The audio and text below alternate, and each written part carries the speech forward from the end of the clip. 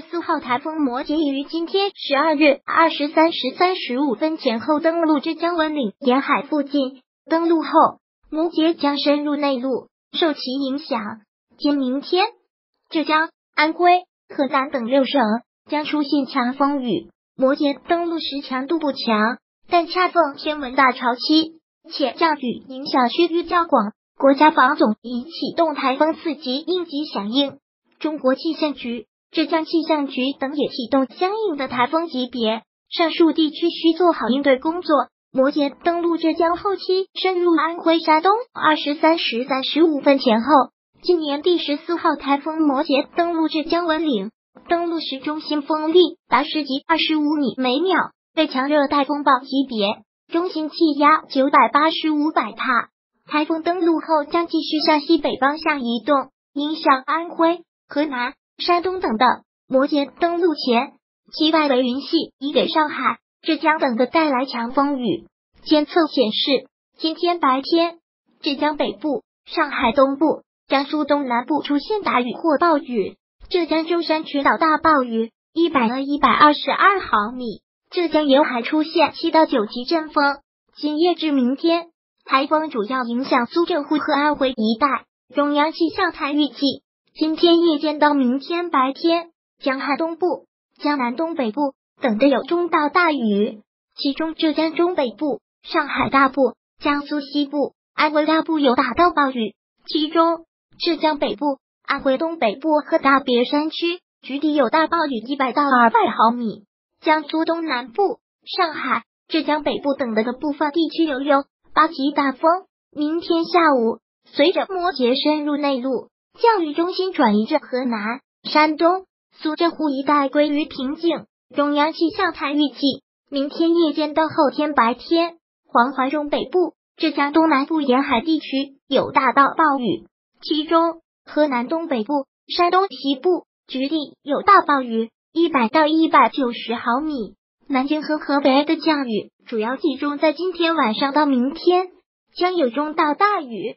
郑州的降雨将从十三日晚上开始展开，十四日白天将有大雨，济南则以雷阵雨为主。需要注意的是，十三日至十四日，摩羯可能在河南、安徽、山东交界附近滞留，强降雨持续时间长，需要防范强降雨的不利影响。目前时效较远预报仍有不确定性，当地居民及时关注最新的预报预警。今年三台风登陆浙沪为和平爱华东，这是今年首个登陆浙江的台风。去年无台风登陆。据统计，一九四九年至二零一七年，共有四十一个台风登陆浙江，其中八月是台风登陆最集中的月份，共有十八个台风登陆，其余月份共有二十三个。今年台风偏爱华东地区，从七月下旬至今的不到一个月时间里，已有三个台风登陆华东。从历史数据来看，苏浙沪地区并不算台风的中爱之岛。从一九四九年至二零一七年八月底，登陆江浙沪地区的台风共有四十九个，平均每年只有不到一个。与之相比，广东则是台风登陆大户，登陆台风多达一百六十六个。年均两个到三个。今年台风为何偏爱苏浙沪？这一切都是副热带高压在幕后发挥主导作用，影响我国的台风大多数都生成于西北太平洋。在此区域生成的台风又大多产生于副高的南缘，并沿着副高外围移动。当台风位于副高南侧时，会在南侧偏东气流引导下向西走。而今年七月初至八月上旬。副热带高压位置异常偏北，强度偏强，稳定在我国华北、东北、黄淮等的上空。华东沿海地区处于其南侧边缘，增加了苏浙沪中招台风的几率。多地启动应急响应机场发延误预警，为防范台风摩羯的影响。国家防总八月十一日十六时启动防汛防台风四级应急响应，派出三个工作组，分赴浙江。上海和江苏等省市协助开展防汛防台风工作。中国气象局已于八月十一日八时三十分启动台风四级应急响应。浙江、上海、江苏等的气象局也启动不同等级的应急响应。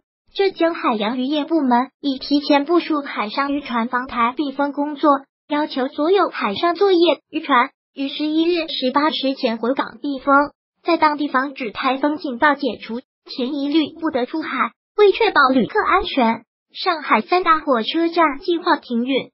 八月十二日四十趟列车主要未经沿海铁路往温州南极以南方向。另据非常准消息，受台风影响，杭州萧山机场、南京禄口机场发布航班延误黄色预警提示；上海浦东和虹桥机场发布航班延误橙色预警。八月十三日。上海终端区预计两点到十二点持续受台风天气影响，通行能力下降百分之五十左右。尽管摩羯登陆是为强热带风暴强度，但台风刚好遇上七月初天文大潮，风雨潮三碰头，沿海地区防汛海涝的压力比较大。目前正值暑期，在海边游玩的旅客较多，沿海的居民和游客需关注最新信息。遵守景区管理规定和当地应急管理措施，及时撤离，注意安全。后期，台湾深入内陆，摩羯可能的途径山区有天目山区、万南山区、大别山区和伏牛山区的。上述山区需要防范山洪、泥石流等次生灾害。明天正值周一，降雨也将对早高峰造成一定影响，可提前出门出行，注意安全。不要轻易涉水通行。The end 免责声明：本文来自腾讯新闻客户端自媒体，不代表腾讯网的观点和立场。